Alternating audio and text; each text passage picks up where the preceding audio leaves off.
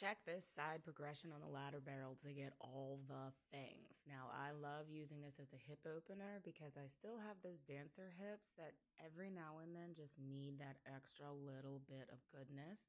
Now, the higher you go up in the rungs, the more you have to reach out, the harder it gets. Here's a little trick. Send that top leg through the top rung and the second rung.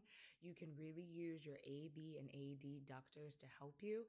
And then one more little bit of showing off for the friends in the back. Now, if my neck were in line, that would have been a lot easier to hold. You can throw in some side kicks there and then look, swoop that foot under, latch it, and then you get some more good stuff. I throw those arms around to make the weight shake it up.